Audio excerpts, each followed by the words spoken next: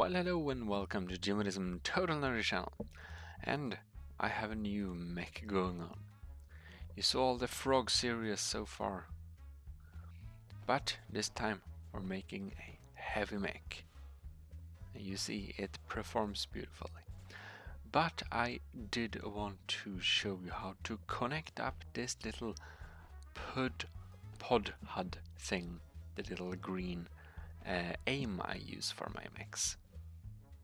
Um, I put it on on Pastebin. Um, links in description. But it's really simple and straightforward, basically.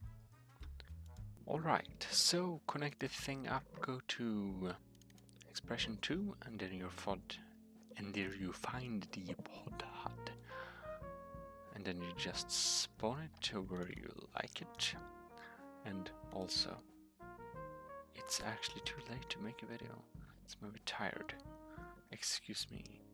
Anyways, um, take the active, connect it up to active on the pod controller. Take pod, connect it up onto the pod controller. Um, then red is a bit funny. So I spawned a wire ranger, have it default to zero. So you take the red and you hit it up on distance right there then you get into it and you need to unfreeze it.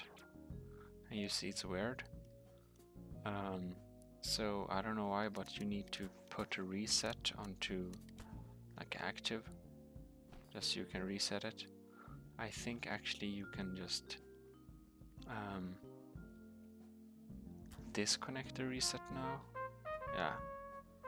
You just have to I don't know so now this aim will turn red when the Wire Ranger hits it and you will put up your Wire Ranger so that it will not hit the ground. That can be smart. That's and you want to have, let's see here. Ignore world.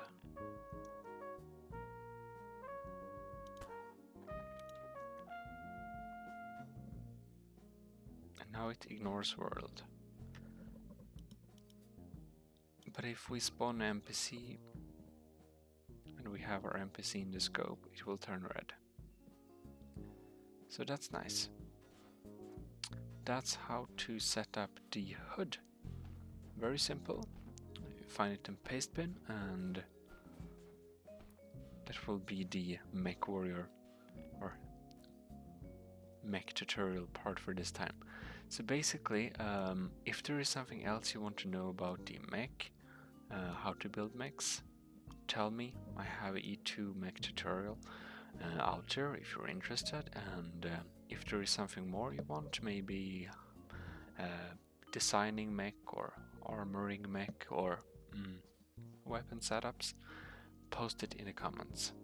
I'll guess I'll see you next time. So this is Jim, this is Total Nerdy Channel with a little nice introduction and